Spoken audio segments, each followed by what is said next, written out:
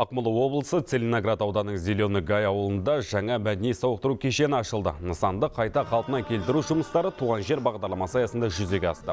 Бұрын бұл жерде ескі ғимарат болған. Оны жөндеу үшін 100 миллион теңгеден астам қаржы жұмсалды. Бұл қаражатты агрофирма Родина серіктестігі бөлген. Кешеннің ашылуы ауылда түрлі мәдени шаралардың көбеюіне бұқаралық спорттың дамуына септігін тигізбек. Орталықта бірнеше бағыт бойынша жұмыстар жүргізілмек. Шахмат, шашки, тоғызқұмалақ және шығармашылық үйірмелері жұмыс істейді. 300-ге жоқ тұрғыны бар Зеленый Гай ауылы үшін бұл үлкен тарту болды.